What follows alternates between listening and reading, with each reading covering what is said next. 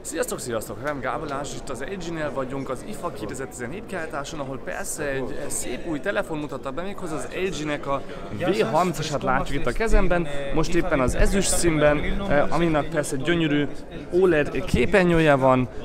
6 incses és magas felbontású 2880 x 1440 pixellel, tehát pontosan tökéletesen 18 per 9, és hogy látjátok szép gyorsan fut, mert ebben már a gyorsabb Qualcomm Snapdragon 835-ös processzor van benne, amit mindegyik másik flagshipben is látunk ebben az évben. Ha látjátok, most éppen nincs AppDrawer beállítva, de ezt be lehetne majd állítani. Ezen most jelenleg még az Android 7.0 fut, mindjárt átállítom lista nézetre, és akkor láthatjuk szépen, hogyha a videó a végére, akkor itt V30-as neve van a készléknek, a szoftverben meg ide van írva, majd hogy 7.1.2, és persze a legújabb security patch levele, de majd persze megkapja az Android Oreo-t is. Legnagyobb újdonság ennél a készléknél a V30-nál az az, hogy a kamerája nem csak hogy dual lenzes, hanem közelebb kerültek a V20-hoz képest a lencsék egymáshoz, a szenzorok is kicsit szebbek, szebben vannak igazából megoldva, és van egy szép új lenyomat alsó még mindig hátul, amit meg lehet nyomni, tehát még mindig kikapcsgombként is lehet használni. Bang Olufsnál dolgoztak együtt azon, hogy szép, meg jó legyen a hangja, és körbe egy fémházunk van, egy gyönyörű fémházunk van, amin van egy persze teljes méretű felhőcsatlakozó, mikrofonunk is, hangerőszabályozónk a bal oldalt, nincs extra Google Voice Assistant gombunk, tehát az alján egy USB-C találunk majd, ami 3.1-es sebességgel gyorsan át tudja küldeni az adatokat, meg rá is lehet rakni az adatokat a telefonra, mikrofonunk meg hangszórunk az alján, és a jobb oldal majd csak a SIM kártya megy bele, mivel hogy a kis bekapcs gombot hátul találjuk, ahogy említettem. Itt látjátok éppen az Always On display-t, amit persze double tap is fel lehetne ébreszteni, csak az most nincs beállítva. Továbbiakban mi mindig van az, hogy knock is fel lehet persze oldani, az arcunkat is fel lehet oldani, úgy akarjuk csinálni, mert van egy nagyon jó első kameránk is, persze mindjárt bemutatok 5 megapixel wide angle technológiával, és ha megnézzük a, a hátsó kamerát, akkor látjuk, hogy továbbiakban is persze a két kamera arra van itt kitalálva, hogy könnyen lehessen váltani széles látószögű és nem széles látószögű nézet között, de persze, hogyha belemegyünk itt a professzionális módusban,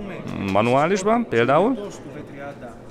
akkor látjuk majd, hogy szépen tudunk különbájtani az izót, meg mindenféle más beállításokat, amit profi kameráktól is ismerünk, ezt más készlik nem nagyon tudja, de közben, hogyha nem tudjuk pontosan, hogy ezeket hogy kéne beállítani, egy különleges filtert akarunk, például, hogyha sötétben akarunk csinálni egy fotót, és akkor persze kicsit több fény kell, akkor ezt tudnánk kiválasztani, tűzjátékokhoz is külön más beállításokat látjátok, hogy megváltoztat, és így tovább. És akkor szépen lehet tanulni, hogy melyik érték kb. mit jelentene, és hogyha azt mondom, hogy non, akkor persze átmegy az automatikus felvétel felvételhez. Vissza látjátok, nagyon szép profi kamera funkciókat láthatunk is rajta, nagyon szép nagy gombbal itt ki is tudjuk majd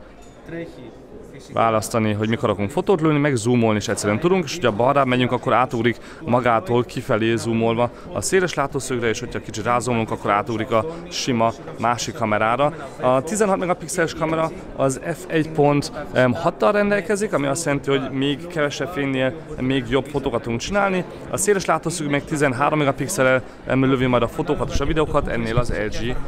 készléknél. Menjünk vissza, a sima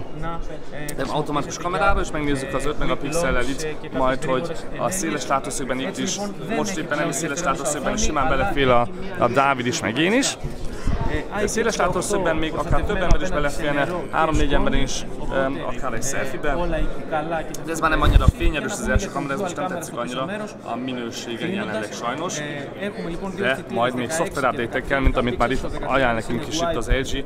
majd jöhetnek az újabb verzió. Google Assistant még mindenféle más okos funkciós be van építve, wireless charging is végre benne van, vízhatlan is teljesen, tehát vízbe is tudjuk ejteni IP68 szerint, és sok-sok-sok más olyan funkció van benne, amit már ismerünk például a többi másik gyártótól is, és az előző um, LG készlékektől is, mint a Military um, Standard 810-es G szerint ezt le is tudjuk ejteni um, 1,2 méterről például, és nem fogtunk temenni a készülék, um, hanem még mindig tudjuk szépen használni. Közben néztetek Gábolás, ez volt itt az LG-nek a V30-as okostelefonja, további színeket, meg extrákat még bemutatok nektek, majd persze részletes bemutató is lesz még itt a kiáltásunk. Közben néztetek még egyszer, és sziasztok!